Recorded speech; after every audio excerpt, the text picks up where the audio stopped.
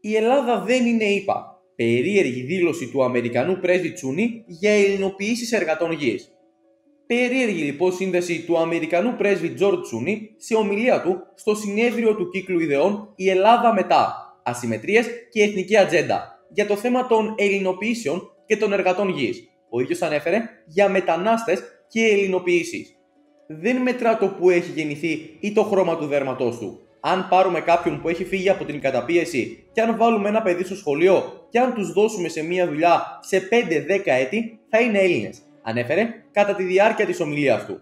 Μετρά και θα μετρά πάντα το που γεννιέται κάποιος, ειδικά αν αυτός γεννηθεί στην Ελλάδα, μια χώρα που έχει ιστορία 40.000 ετών, η οποία διατηρεί μαζί με την γλώσσα αυτόν τον λαό σε αυτή την χερσόνησο των Βαλκανίων.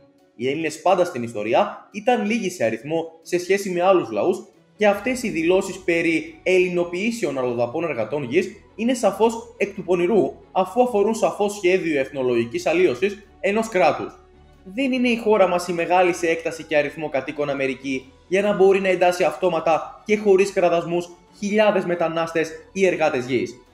Τώρα ετοιμάζεται νομοσχέδιο για την νομιμοποίηση απασχολούμενων εργαζομένων για μακρά περίοδο στη χώρα, σε αιτήσια βάση, χρειαζόμαστε 180.000 εργάτες γης, είχε αναφέρει ο Υπουργός Αγροτικής Ανάπτυξης και Τροφίμων το Σεπτέμβριο του 2023.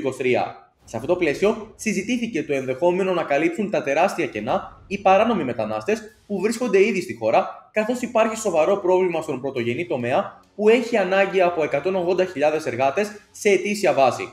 Πρόκειται για ένα σχέδιο το οποίο θα προκαλέσει ζημιά στον εθνικό ιστό θα αλλοιώσει την γλώσσα μας, ενώ οι γάμοι με άτομα διαφορετικής εθνικής προέλευσης θα μετατρέψουν την Ελλάδα σε μια πολυπολιτισμική κοινωνία.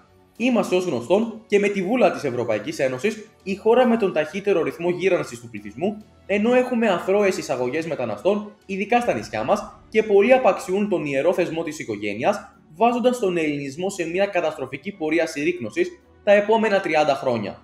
Αυτό ήταν το βίντεο. Αν σ' άρεσε, μπορείτε να κάνετε εγγραφή στο κανάλι για να λαμβάνετε ειδοποίηση για κάθε νέο.